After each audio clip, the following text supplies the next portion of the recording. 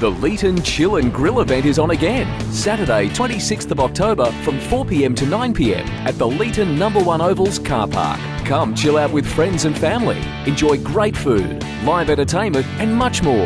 It's a family-friendly event with just a gold coin donation at the gate. We'll see you there.